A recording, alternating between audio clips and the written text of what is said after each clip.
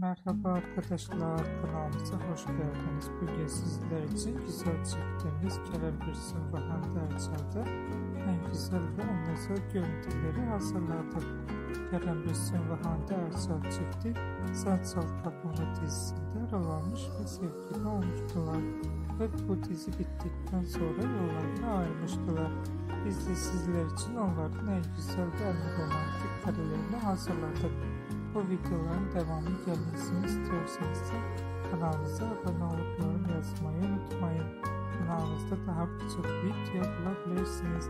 Bizi izlemeye devam edin. Herkese teşekkür ederiz.